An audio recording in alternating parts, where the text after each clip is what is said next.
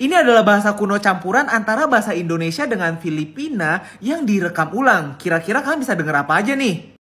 Ya yatim goblok menling tolol anjing. bocah kontol bocah ya, kontol Ya, suara lu anjing anjing anjing Ah Jawa anjing naon eta bahasa medok itu anjing kampungan. Dan uniknya kalau orang Filipina mendengar rekaman barusan, dia akan mengatakan kalau bahasa tersebut mirip sekali dengan bahasa Indonesia. Sedangkan kita orang Indonesia yang mendengarkan, bahasanya mirip kayak bahasa Filipina. Unik banget kan guys?